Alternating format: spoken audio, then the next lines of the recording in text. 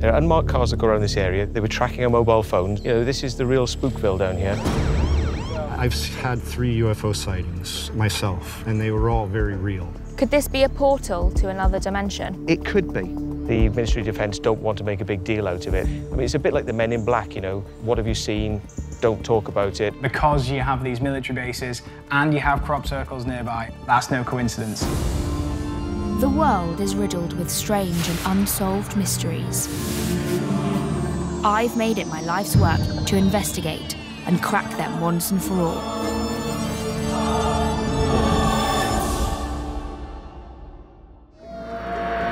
Wiltshire County in the southwest of England is a hotspot for UFO sightings, crop circles, ancient monuments, and supernatural phenomena. Yes, Wiltshire. To make things stranger, there's a curious number of military bases dotted around this mystical land. Indeed, there are rumours that within Rudloe Manor, a former RAF base set up to investigate UFO sightings, lies the remains of an alien spacecraft and an alien corpse. Yes, aliens. There have been many sightings in the area of UFOs around Rudloe Manor. A lot of these bases in Corsham have a very heavy military police presence around them, so they're extremely important to the state and to the armed forces.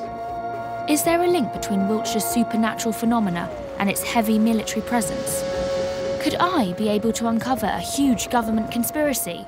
So I've come to Wiltshire to see if this really is the UK's answer to Area 51. Shit.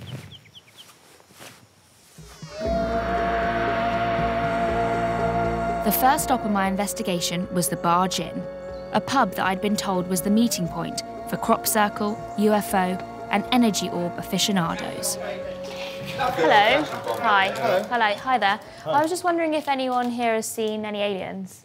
I've, I've had a few funny experiences with the crop circles and stuff. A few weird lights at nights on the way home. So you believe in the energy of the area? No, there's definitely loads of energy around there, there is. Uh, we do get quite a lot of tourists come here for, for that reason. There's an American fella staying upstairs. I think he's in the garden now. Might be Okay. chat. Thank you. I'll go chat to him now.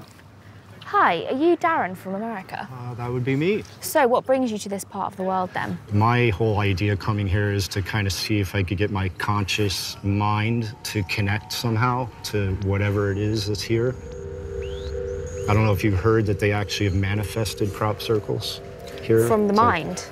Mhm. Really? Yeah, so I'm going to try to manifest one myself, see what happens. The idea of my circle is to have hearts in, Yeah, I love in the hearts. design, so I wanted to put hearts around the earth. So, you're from California, which is a hub of UFO sightings. Do you feel that same energy in Wiltshire? I do, yeah, yeah. I feel like uh, a lot of the reasons for the things that you feel around here are from the ancient people that have already been here.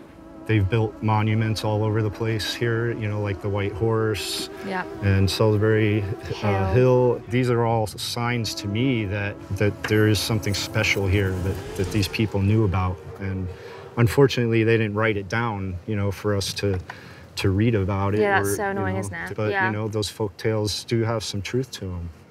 What would you say if you met an alien? I always say I wear this ring, you know, just to tell them I'm your friend. Mhm. So uh, if they do Friend, come, fist pump. friend. Yeah. Wow. What Darren, the man from America, had said to me about the density of ancient monuments in the area got me thinking could this perhaps be connected to Wiltshire's mysterious energy? I arranged to meet a UFO and crop circle enthusiast at a nearby prehistoric artificial chalk mound. So, David, you're a crop circle and UFO enthusiast. That's correct. Why does this area in particular have such a high amount of UFO and alien activity? We think that this particular area, there's some kind of electrified energies in the ley lines. What's the ley lines?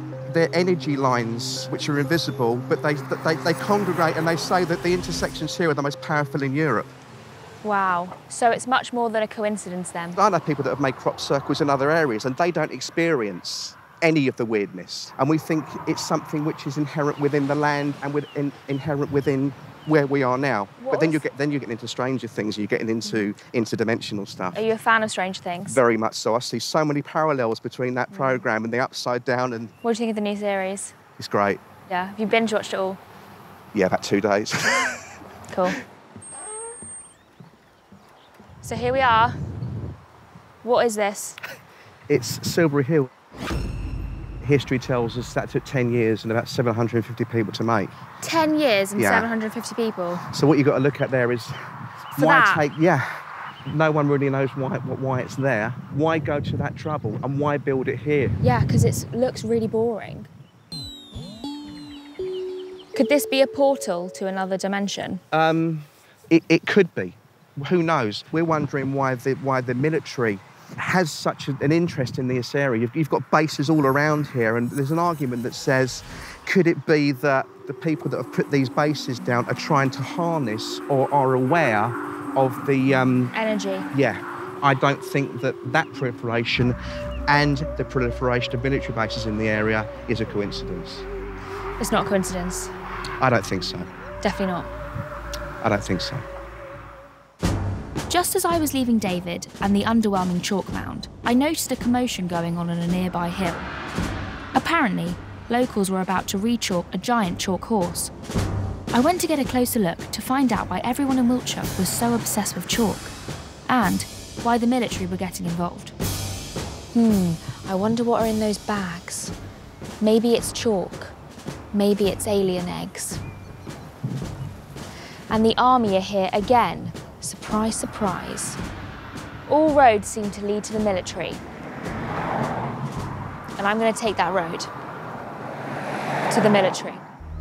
It was clear to me that if I was going to get to the bottom of the military connection to the area's paranormal activity, I would need to go to the secret base, dubbed the UK's Area 51, Rudloe Manor. I arranged to meet a UFO investigator and an urban explorer outside its gates. So you're a UFO investigator and you're an urban explorer. That's correct. And where are we now? Right, behind us, we've got the old RAF Manor House, and this used to be where the RAF Provost and Security Service, which is the RAF Police, were headquartered, and they used to send out officers to interview UFO witnesses. Wow, this is very, very, very, very, very interesting. So why is Rudloe Manor known as the UK's Area 51? I think this is known as the UK's Area 51 because of the UFO investigations. The fact there was a secret wing of the military sending out officers to interview witnesses. They would then deny that that existed. I mean, it's a bit like the Men in Black, you know, what have you seen? Don't talk about it. And that all went on from here. Which, the, the original Men in Black or the new film? Because I didn't like the new film. I mean, this was prior to the Men in Black. There was a crash in North Wales of a UFO, allegedly something taken away uh, by the military. And there are rumours of an alien body, but nothing firm on it. An alien body. They say that if they got out in 20 odd days, the whole planet would be dead from, you know, infection. You wouldn't want that sort of getting no, out. You want to incubate that Exactly. ASAP. Yep. Next, the UFO investigator and the urban explorer took me to the entrance to Burlington Bunker. This houses a massive subterranean city, originally built to enclose 4,000 government personnel and the royal family in the event of a nuclear attack. Matt says it connects to Rudloe Manor and might potentially be where the alien corpse is. Here, we had to be especially careful of the men in black. We believe there's some sort of secret cameras here, um, and there's definitely motion or vibration sensors on the doors down here because, Really? yeah, you get picked up here so easily. But you can get through this fence, and at the bottom, there's another metal door, and if you get through there, I have been in there years ago. There are these reflective archways that sort of tell you where to go underground, and then you get to a door. On the other side of that door, that's the Cold War bunker where the royal family would have gone. Wow. And from an urban explorer perspective, what do you think about this? I don't like the fact it's shut. So what's that behind you? I think that's just a bird feeder, but you never know with these things. I mean, where are they hiding the cameras, the movement sensors? They always seem to know we're here. There are unmarked cars that go around this area. They were tracking our mobile phones. I've been checked out by the special branch. They've come to visit people I know, giving them fake ID cards. You know, this is the real Spookville down here. So I spent the day investigating the energy that's around Wiltshire, the ley lines. Do you think that that also has some connection with the amount of military bases? I've seen balls of light in and around crop circles. Mm-hmm. I've seen military helicopters chasing these things, and they go off at incredible speeds. And at, on one night, we even saw one of these little balls of light go up into a saucer. If there was anybody on- board that saucer, the G-forces would have killed them. Wow. So is that a yes then? Absolutely, I believe Wiltshire is a, a high activity area. So where are we off to next? Well, we're going to take you outside the brand new uh, place called the GOSC, the Global Operations Security Control Center. That's where they're employing children as hackers. So if you imagine they're doing that sort of stuff behind closed doors there, what else are they doing? Finding aliens? Yeah, definitely finding aliens. Matt seemed convinced that our movements were being tracked by the police. It seemed only a matter of time until they pounced, as we went deeper into Wiltshire's military heartland. So where are we?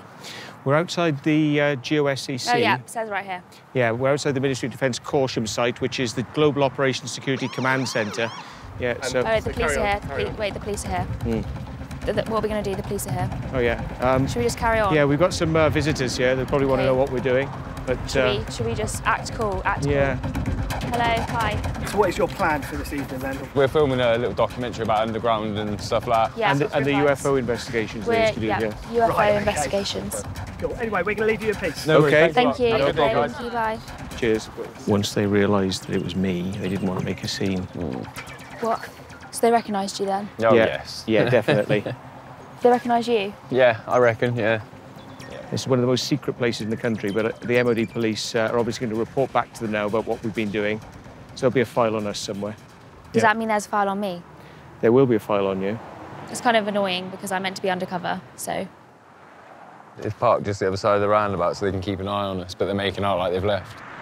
so now we're off to the CCC, but the police know what we're doing. They're on us, so we've got to be careful. They probably don't want us going into that bunker entrance, and uh, there's cameras there, and Okay. we'll be watched the whole time we're walking up. Yeah, we're being watched right now. So Yeah. This is a very secret bunker that was paid for by black budget money from Margaret Thatcher. oh, wait, it says we shouldn't go in, but we're just we're just going in. Yeah, why not? Yeah, we're just going in. Uh, underground here is like Cheyenne Mountain in the States. It's a shock vibration floor with a supercomputer in it, and it's controls Trident submarines and nuclear launches of uh, missiles from those. I think. Um, do you think the police are going to come? Oh, yeah. I'd imagine so. Right. So it says Caution Computer Centre. What does this have to do with UFOs? This is um, an underground launch computer site, but it could be a lot more than that. Maybe this is where they do the searching for UFOs from. And from an urban explorer point of view, have you ever tried to get inside here? Obviously, this is still working and very quite active, so I don't think you get anywhere near it underground. Mm-hmm. That camera's turned now, it's pointed at us. Not directly at us, but it's pointed at us. Are the police here? Yes, the police have just arrived.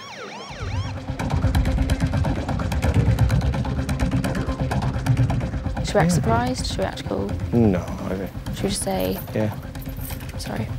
we'll find out what they want. Okay. Hi guys. Oh, yeah. Okay. Um, this will be closing very shortly.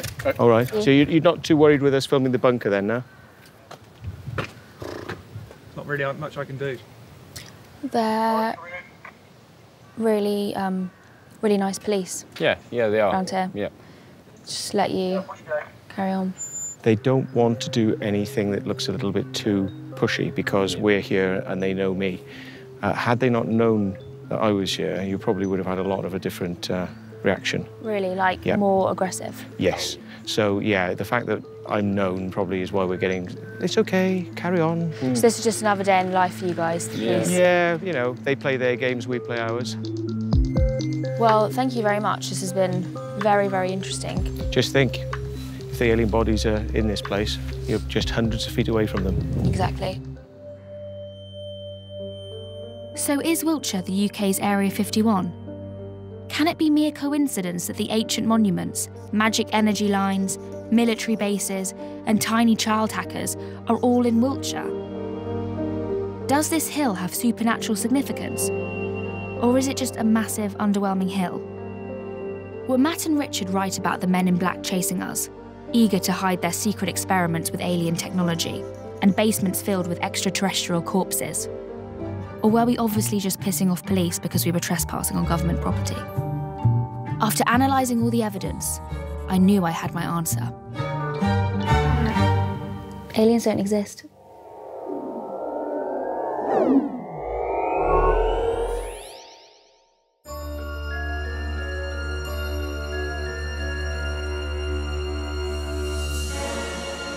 I'm stuck. I can't get out. I can't get out. I can't get out of here. How do I get out? I can't get out of this crop field.